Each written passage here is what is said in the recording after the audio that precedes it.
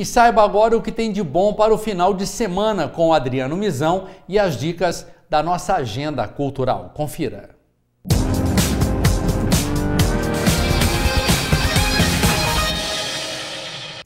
Olá pessoal, tudo bem com vocês? Bom, espero que sim, né? Final de semana chegando e com ele a nossa agenda cultural. E primeiramente vamos falar hoje de cinema. Na semana passada estreou no Cine 14 Bis os filmes Superação, O Milagre da Fé e o live action Pokémon Detetive Pikachu.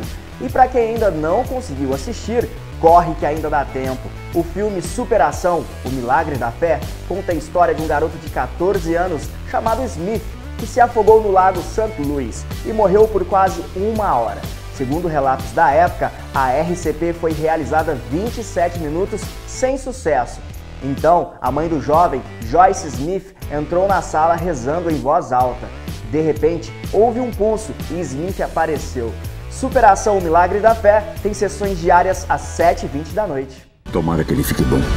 Não vamos passar por isso sozinhos. O que tiver para mim pro Brian, pro Joe. Eu me entrego.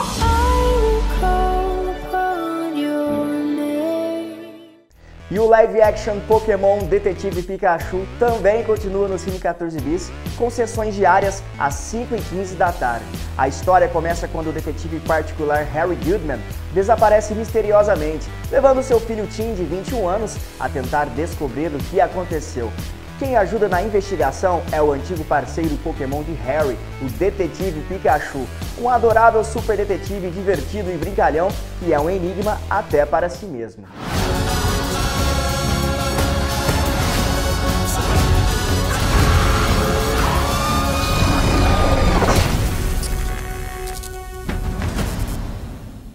E um dos filmes com segunda maior bilheteria de todos os tempos continua Vingadores Ultimato.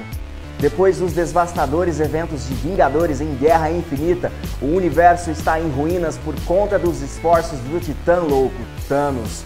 Com a ajuda dos seus aliados restantes, os Vingadores devem se reunir mais uma vez para desfazer as ações de Thanos e restaurar a ordem do universo de uma vez por todas. Não importam as consequências que os esperam. Com classificação indicativa 12 anos, contém violência e drogas lícitas. Vingadores Ultimato tem sessões diárias às 9h40 da noite.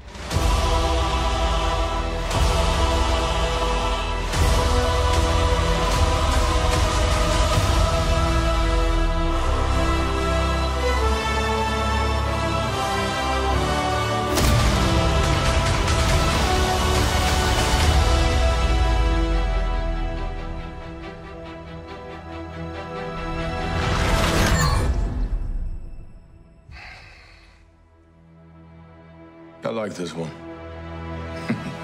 E vamos falar de eventos culturais. Neste sábado, às 8 da noite, no Teatro Municipal de Guaxupé, haverá a apresentação de David Páscoa e convidados. Os ingressos estão por 25 reais e toda a renda será destinada à Pai da Cidade. E hoje, quinta-feira, o grupo de teatro Dona Rosa apresenta a peça Olhos de Cigana, oblíqua e dissimulada, com direção de Pedro Simões. É às 8 da noite no Teatro Municipal, também em Guaxupé.